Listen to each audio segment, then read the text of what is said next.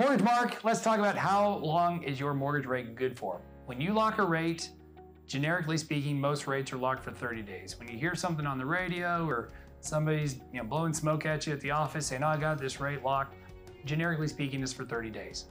Uh, most of the time, rates will operate in 15 day windows. So you can get a 15 day lock 30, 45, 60, 75, 90. About 90 is where most companies will offer. Some will go to 120. There's really not a 15 day that I've seen that 90 goes to 120. And then some companies, like us at this moment, we can offer a 12 month lock, right? So it's a relatively new product and program, hasn't been around the industry for long, call it a year or two. Uh, we were one of the very first to have that product. It is awesome, but generically speaking, it's 30 days. So then the question is, well, what if I need more than 30 days? I locked it, you know, got a 30 day lock and suddenly I need 40 because uh, maybe the seller had to fix the roof and they weren't done in time. Or maybe I'm refinancing and I just, you know, I was in vacation and I didn't, I didn't get my stuff in when I should have. If that's the case, yes, you can extend locks. There is a cost more often than not.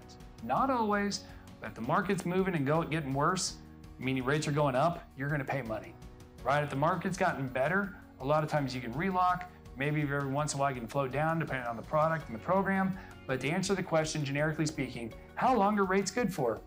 30 days. So once you've locked, you're good and you're protected. If you guys have any questions or want to talk a specific scenario, as always, you can find us at mortgagemark.com. And when you think mortgage, think Mark.